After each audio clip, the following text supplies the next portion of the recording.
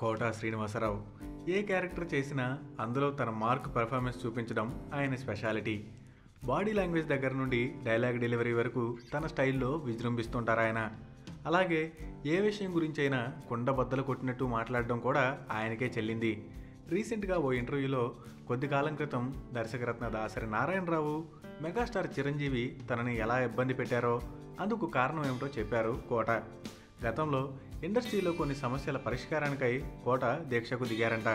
అయితే కోట దీక్ష చేయడం దాసరికి చిరుకి ఏమాత్రం నచ్చలేదంట.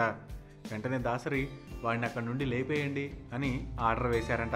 అయితే ఆ టైంలో కోటకి movie mogul doctor D Ramanaidu Natakireeti Rajendra Prasad Sobhan Babu లాంటి వాళ్ళు సపోర్ట్ చేశారంట. కొద్ది రోజులు పోయాక చిరంజీవి కూడా కాస్త silent అయ్యాడంట.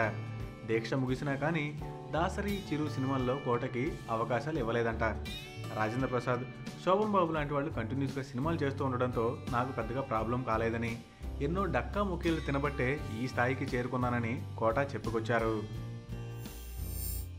Thanks for watching for more interesting updates don't forget to subscribe Filmy Looks